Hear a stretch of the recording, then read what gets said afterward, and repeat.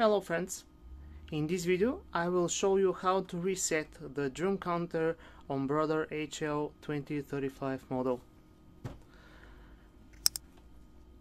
The printer has to be on, the green light is on, open the front cover and press the go button for about 4 or 5 seconds until you see all of the LEDs on then release. And close the front cover.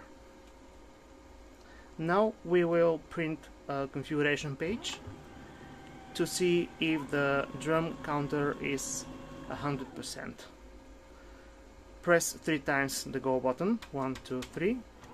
And we are waiting for the printout